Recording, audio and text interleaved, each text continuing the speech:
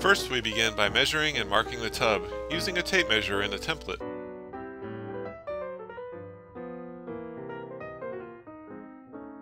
Masking tape is then added to prevent the tub from splintering when we cut it.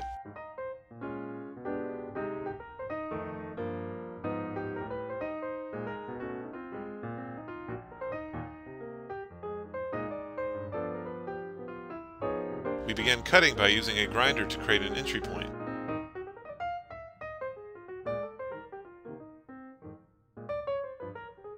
Then we use a reciprocating saw to cut out the rest.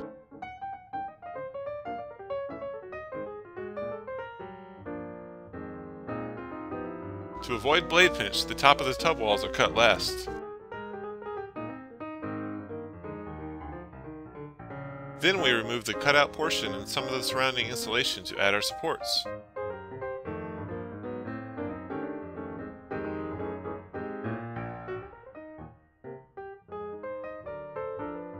Next, we cut a wood block to fit into the tub threshold.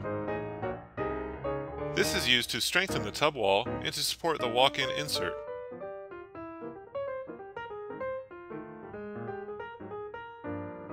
The block is leveled and solidly secured to the tub.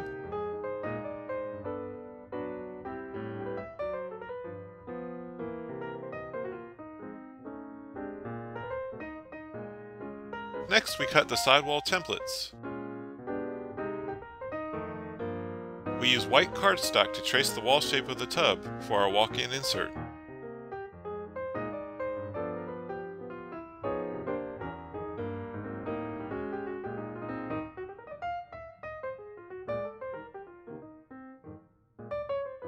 We mark the template on the insert.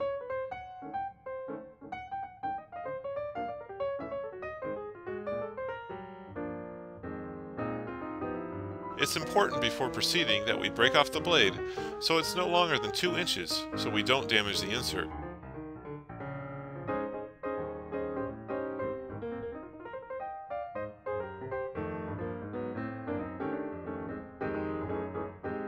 Next we cut the insert to fit the contour of the tub.